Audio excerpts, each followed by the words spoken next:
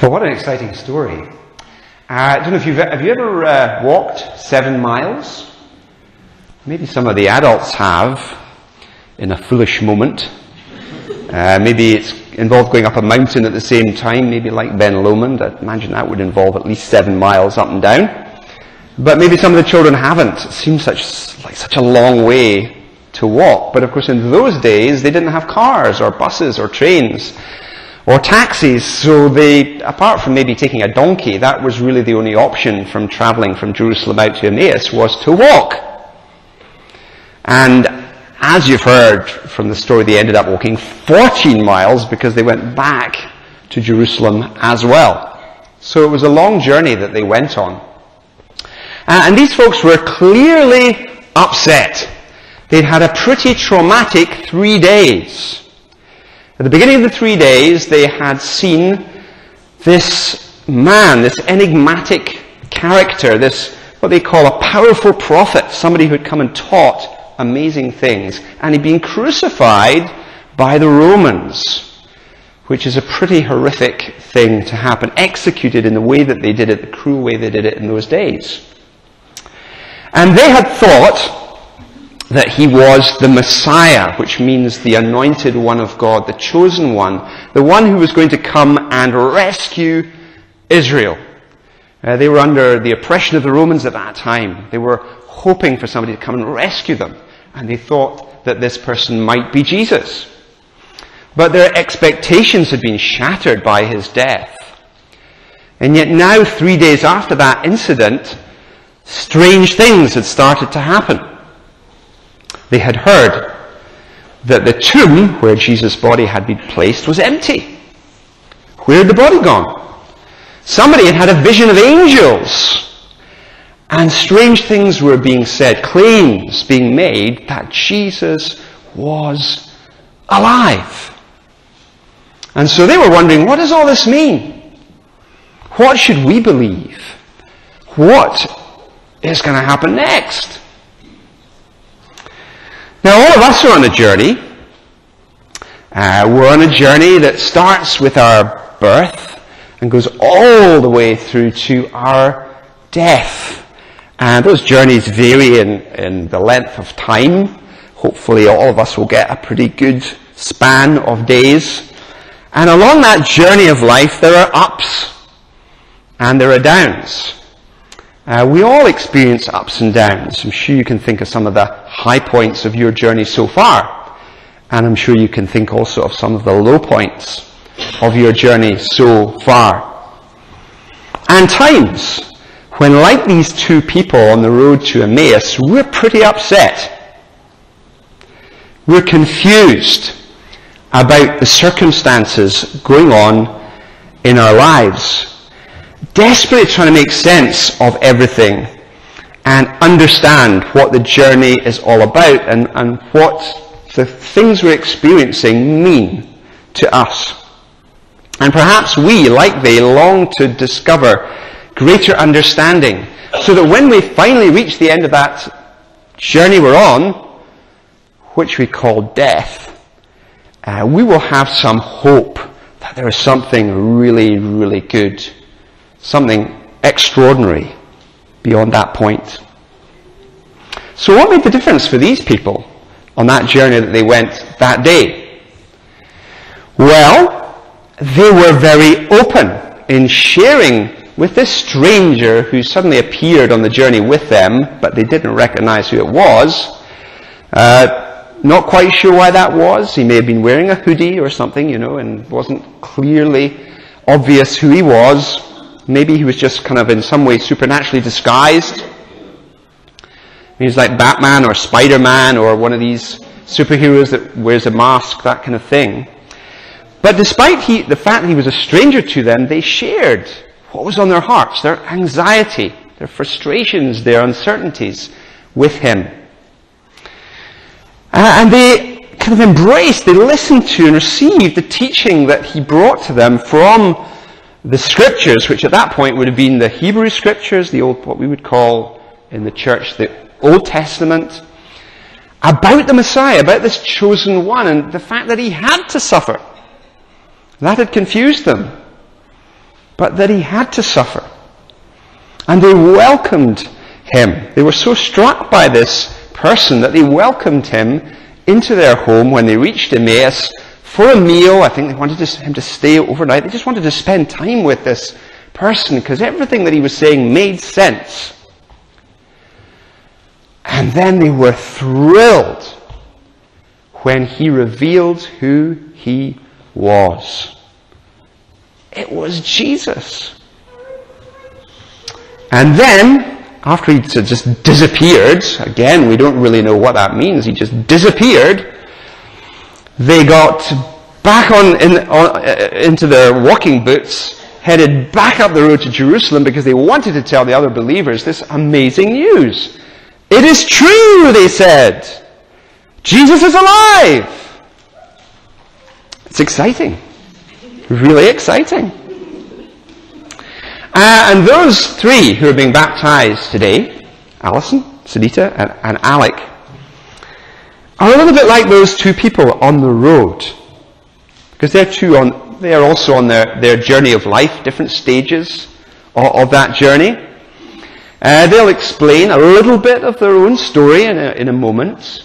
Maybe they're a little bit nervous about that part, but it's going to be great because there's such always good stories. Every story is different. Every story is unique. And even the children here, you have a unique story that's gradually unfolding in your life. And every story is unique. Uh, they'll have common elements, I'm sure. And all three of their journeys have crossed at some point with the journey of Jesus to the cross. Probably at different stages in their journey. For some, quite recently. For some, maybe a little bit time ago. Uh, they have had to face this struggle to understand what might be called a, the tragedy of Jesus dying. What does that, all mean? What was it about? What was it for? And then coming to a recognition of the reality of the resurrection of Jesus, the fact that he came back to life after three days, and what that means for us today. Uh, remember last year when we had eight dear Polish friends who came up from Clydebank to be baptized. Uh, one of the ladies, Czesława, didn't speak any English. Uh, she shared her story in her own language, had to be translated for us. And that was the thing that really had gripped her as she read the Bible was to discover that Jesus is alive. She more or less said what it says here. It's true. The Lord has risen. And I've met him. Uh, it was just so exciting, the impact that that uh, fact had upon her life. And the same will be true for the three people today. Uh, part of that kind of understanding comes through reading the Bible, through the, reading the scriptures uh, and what they teach about Jesus in the Gospels and in the New Testament. But even more significant, encountering the living Jesus at work in your life, seeing the things that he is doing. What seemed in the past maybe to be coincidence actually become God incidents. And that's something of what I'm sure they will share in a moment. Whether you live in first century Judea, or whether you live today as we do in 21st century Scotland, the truth of that, I believe, hasn't changed. People often think that Christianity is primarily about morality, which is a big word, which means talks, talking about the way you behave. How do you behave? And the kids will all kind of have an understanding of, of, of that and, and what your parents and your teachers think about how you behave. Are you good or are you bad? Maybe you have good days and bad days, because actually there's a bit of both in all of us. But Christianity, in fact, is not so much about making bad people good, although that's a little bit of it. Ultimately, Christianity is about making dead people alive. And that's even more exciting. There is a verse in the Bible, uh, in the letter Paul wrote to the, to the Romans, that says the wages of sin is death. Sin is a little word. It just talks about the bad choices that we all make that causes a separation between us and God. Our pride, our greed, our selfishness, which create a barrier that we can never get past between us and a perfect creator. And for people who needed a savior, God sent, or for people who needed saving, God sent a savior, Jesus Christ, who walked on the earth 2,000 years ago, who experienced, like us, the joys of life and the struggles of life.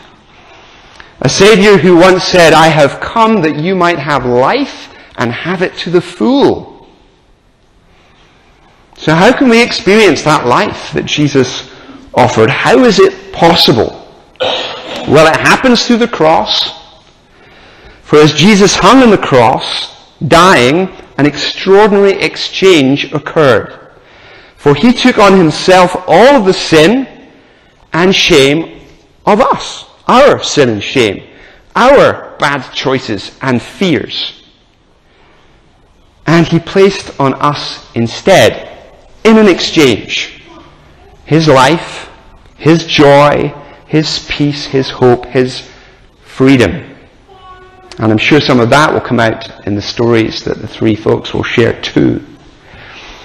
And maybe at times in your life you feel like you're carrying just a heavy load, burdens, weights, the sense of guilt that just never seems to quite go away. You don't need to live like that anymore. Like the two people on the road to Emmaus, like the three folks that have come to be baptized today, Jesus has come to give you life. Life in all its fullness. Freedom and peace. So I invite you to, to join me in saying a prayer. It's an easy thing. Just, it starts a new life off in you, which is a harder thing, but it's an easy thing to do. A decision to make, and you can do it with a prayer. So I'm going to pray a very simple prayer now. And if you want to join with me in this prayer in your heart, quietly, silently, then you can do that. So let's pray. Dear Lord Jesus, thank you for your love for me. Thank you for your life here on earth. Thank you for your death on the cross. I'm sorry for the bad choices I've made. For the bad choices that have wounded you and hurt myself and others. Please come and live within me and guide me by your Holy Spirit. May I know your life in all its fullness. Amen. And if you have prayed that prayer, then tell somebody. Tell somebody that you know that already is on that journey of faith. Uh, tell somebody here uh, in the church. Uh, we have uh, prayer ministry teams who meet over on the right hand side of the church, just in the comfy chairs there, who, who like to pray with people after the service, and you could go and pray with them too. So uh, we'll come to that uh, point where we're going to share, uh, we'll give the opportunity to Alison and Sunita and Alec to share just a little bit of what has brought them here today before we come to the point of baptizing them. So we're going to hear a little bit of their story. Uh, each of them has chosen a song which means something special to them. And uh, after they've spoken we're going to have their song. Apart from Alec, because his has been chosen to use as the final song, which is Be Thou My Vision. Uh, so I'll have Be Thou My Vision right at the very end of the service. Uh, but these are songs that mean something special to them. So I'm going to pray uh, quickly for them, and then one at a time, alphabetically, which I think will mean Alison, Sunita, then Alec. Uh, we're going to have you up to have a little for you to share. So, Our Heavenly Father, we thank you for this very special day. We thank you for what you have been doing in the hearts of Alison, Sunita, and Alec, for bringing them to this point today to be baptized. For each of them, that is an act of faith, but also an act of obedience. It's not an easy thing to do. I know that maybe they're a little bit nervous, and we pray for peace just to flood into their hearts now uh, as they share with a few words and then in baptism uh, of what they have discovered uh, in their new relationship, or maybe not so new relationship, with Jesus. And we ask that in His name. Amen. Alison, would you like to come up and uh, share uh, a little bit first with us, and then we'll have your song after that.